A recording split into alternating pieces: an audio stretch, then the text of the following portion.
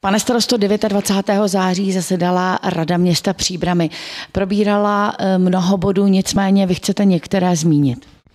Tak chtěl bych zmínit eh, některé body, jako například, eh, že Rada města schválila příspěvek pro družstvo Team Gym Sokola Příbram, které se zúčastní na Islandu mistrovství světa a přispělo, přispěla rada, nebo protože město přibírám částkou 40 tisíc korun a tato částka bude použitá především na úhradu ubytování.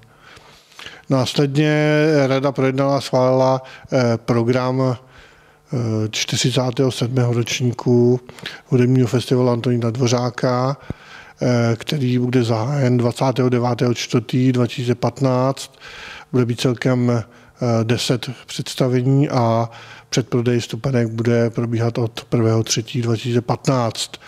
Ředitelkou programovou eh, je eh, pro eh, tento rok, jakož byl i pro rok 2014 pana magistra Albína Houšková, připravila velmi zajímavý program zaměřený na azijskou kulturu v souvislosti s tvorbou Antonína Dvořáka.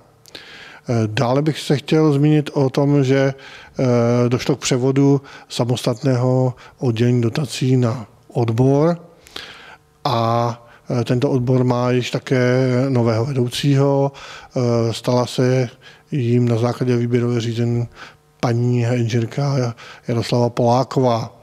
Tento odbor pracuje už po několik let dříve jako oddělení, dnes jako odbor velmi dobře.